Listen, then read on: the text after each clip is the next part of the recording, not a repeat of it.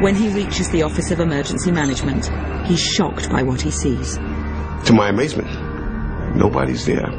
I saw um, coffee that was still hot. They were still smoldering. They had screens all over the place. The screens were blank. So we, I didn't know what was going on. At, at, that time, I received a phone call from one of my higher ups. And um, he said, Where are you?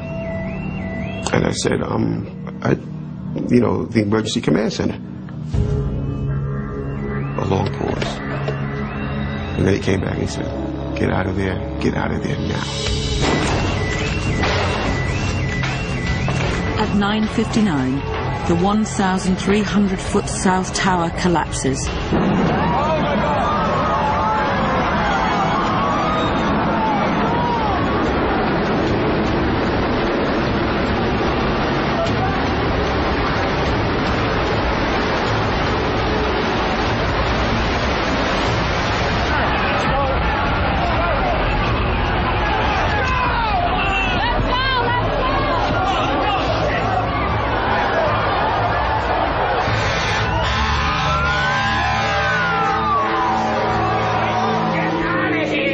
Debris and dust are thrown over a huge area, and Tower 7 doesn't escape.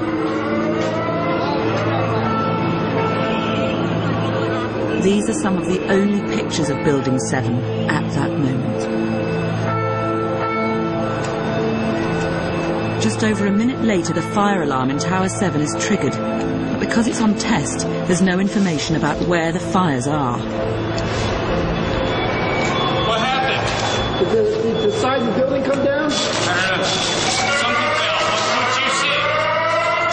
Uh, it was pretty clear at one point, and then uh, there's a whole bunch of smoke and glass. And I think we're just about the last ones in this building right now. I think you should leave. Everybody else is gone. Okay. I wanted to get out of that building in a hurry. So I started, instead of taking one step at a time, I'm jumping landings. When I reached down to the sixth floor, there was this eerie sound. The whole building went dark, and the staircase that I was standing on just gave way. At 10.28, the North Tower collapses in just 11 seconds. This time, Tower 7 takes a direct hit from the collapsing building.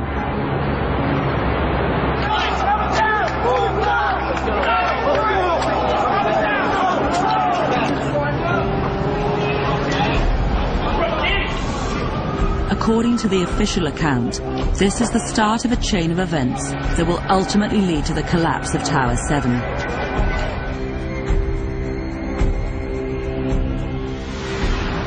The World Trade Center complex in the heart of downtown Manhattan contains seven buildings occupied by many of the world's leading financial companies. The Twin Towers rose above the site more than 1,300 feet tall. Tower 7 was 610 feet tall and just 350 feet away from the North Tower. As the North Tower collapsed, debris hit Tower 7 and fires were immediately reported in the building. Early evidence of explosives or just debris from a falling skyscraper. Barry Jennings was still trapped inside. When we got to the eighth floor, I started walking to one side of the building. That side of the building was gone. And he heard sounds that unnerved him. The first explosion I heard when I was on the stairwell landing, when when we made it down to the sixth floor. Then we made it back to the eighth floor. I heard some more explosions. What sort of sound? Like a boom. Like, a, like an explosion. And more than one? Yes. Barry Jennings was also an eyewitness to the fires that were spreading through the building. I could smell fire. You know, you could smell the smoke. And I felt the heat. It was intense. The official investigators say ordinary fires were responsible for the collapse of Tower 7. But if that's right, why didn't the fire services fight them? There's no way to put the fire out. Well, we got all kinds of water problems. The uh, two trade buildings took out the mains. You know, we can handle just about everything. This is beyond. When they collapsed, the twin towers severed water mains, stopping the sprinklers in Tower 7 and severely hindering firefighting. Eventually, fireboats were used to pump what water they could from the Hudson River.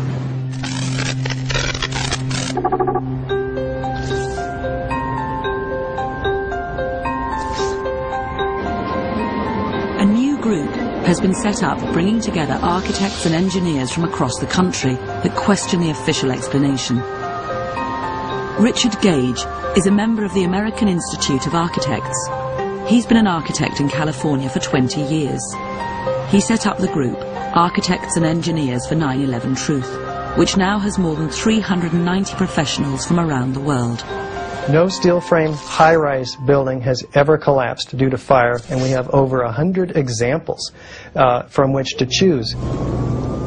In 1991, a fire in a Philadelphia skyscraper raged for 18 hours, but it didn't collapse. In 2005, a 32 story building in Madrid burned for a whole day. There was a partial collapse, but the building remained standing. Tower 7 burned for seven hours. The Madrid building burned for 24 hours. My understanding is that the steel around the perimeter was not fireproofed. In Building 7, we have a completely fireproofed building to two and three hours. What's more, a series of experiments were carried out in these giant hangars in Cardington, Bedfordshire in the mid 1990s. They showed that steel buildings were more robust than previously thought. The Cardington tests in the UK were exemplary in that uh, the steel did not uh, collapse as a result of these tests. A purpose-built eight-story steel building was set on fire. For a short time, the steel reached temperatures of more than 1,000 degrees centigrade, far hotter than in Tower 7. Ceiling beams did sag, but no collapse was observed in any of the six experiments. I'm deeply troubled by the collapse of Building 7 because if the official story is true, then what they're telling us is that our existing building codes, to which thousands of skyscrapers are currently designed with two and three hour fire protection, uh, there, there's a serious problem. The official investigators accept the fires in Tower 7 were never hot enough to melt steel. They think the steel was heated to about 600 degrees centigrade, crucially the temperature at which steel loses half its strength. According to the official investigators, the main fires were concentrated on floors 6 through to 13, except floor 10. And there were fires initially on some of the upper floors. A fire protection engineer who's joined the group says the fires were not severe. The fires weren't burning on all the floors simultaneously. They were scattered about on the floors. And as they burn, they're going to move through the building, so it will certainly heat up some of the steel in an area. But then as it moves on, when it consumes the combustibles there, the chairs, the desk, the tables, uh, whatever papers were there, then there's no longer any source of heat. After surviving for three hours, trapped inside an inferno, Barry Jennings was finally rescued. When we get outside, police officer comes to me and says, you have to run. We have more information of bombs, so you have to run. When I got to the, maybe the 19th block, Channel 7 Eyewitness News says, can we talk to you? I said, I, I need an ambulance. The guy said, well, just let me talk to you right quick. We started walking down the stairs. We made it to the eighth floor. Big explosion. Blew us back into the eighth floor. All this time, I didn't know it. All this time, somebody had called my wife, told her I died in the building. Big explosion. Who comes over the TV set? Whose voice comes over? It's mine. And my sister said, wait a minute, that's Barry right there. I said, this is it. We're dead. We're, we're not going to make it out of here. I took uh, a fire extinguisher and I bust the window out. When So my wife comes flying back down the stairs and says, wait a minute, is, is this live? Because we were told he was dead. And the little caption in the corner, left-hand corner of the TV said, said it was live. The two tallest buildings in New York had just collapsed, and just after midday, firefighters were watching Tower 7 nervously. The deputy chief of the New York Fire Department that day remembers the scene.